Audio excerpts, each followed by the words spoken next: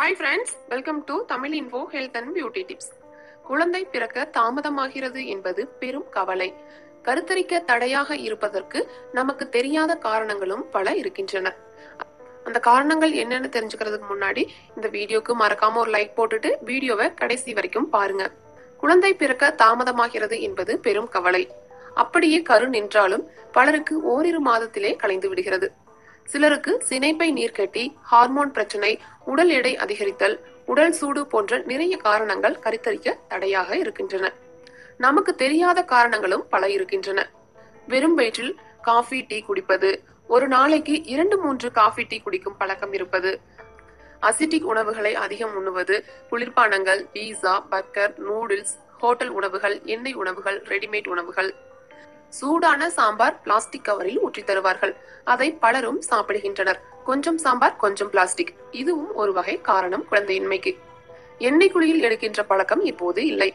இதனால் உடல் சூடு அதிகமாக இருக்கும். கீரை சாப்பிடும் பழக்கமும் மிகவும் குறைந்துவிட்டது.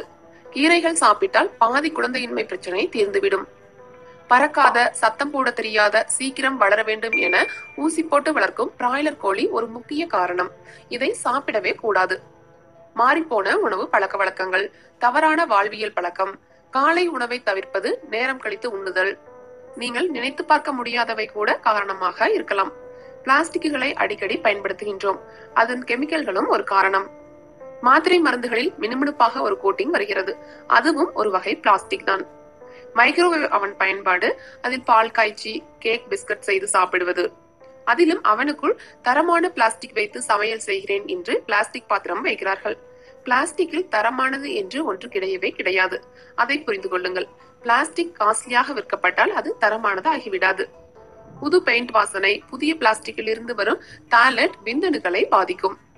பெண்களின் காஸ்மெட்டிக்ஸில் உள்ள பாரோஃபென் தாலேட் போன்ற மோசமான கெமிக்கல்களும் ஒரு காரணம்.